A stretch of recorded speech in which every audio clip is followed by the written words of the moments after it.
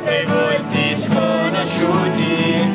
Il coronavirus non ferma neanche quest'anno il campo di lavoro e formazione missionaria in programma dal 19 al 25 luglio.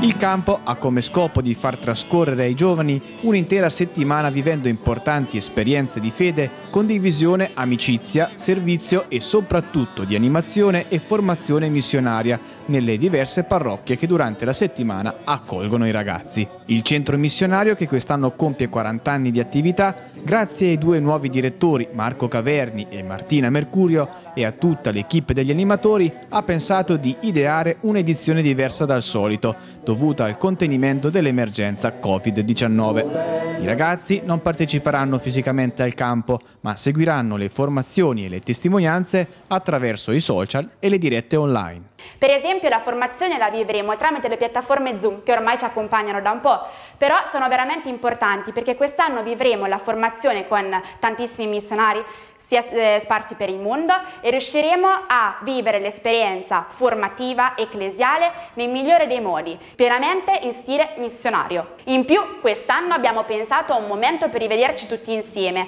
infatti l'ultimo giorno di campo, ovvero il 25 luglio, ci rivedremo in totale sicurezza a vivere una messa all'aperto a Villa Prelato, in totale sicurezza vivremo quindi e concluderemo questa esperienza formativa per tantissimi giovani della diocesi connessi dalla carità è dunque il tema del Campo 2020 che ha come scopo di restare connessi, uniti e legati non solo dalle tecnologie ma anche dallo spirito missionario che accomuna i partecipanti in questa esperienza. Le iscrizioni sono già state aperte domenica 21 giugno e davvero invitiamo tutti tutti i ragazzi della diocesi di Fano Fossombrone Cagli Pergola a prendere parte a questo CMD 2020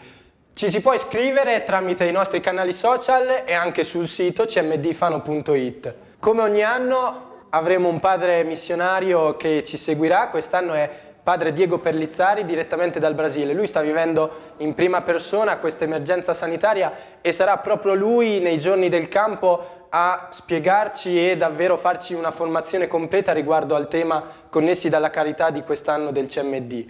Inoltre avremo anche la possibilità di ascoltare più voci di missionari sparsi nel mondo, dal Giappone fino agli Stati Uniti e perché no anche dalla Thailandia. L'edizione di quest'anno è organizzata dal Centro Missionario della Diocesi in collaborazione con la Pastorale Giovanile, la Caritas, l'Ufficio Migrantes e dai missionari saveriani.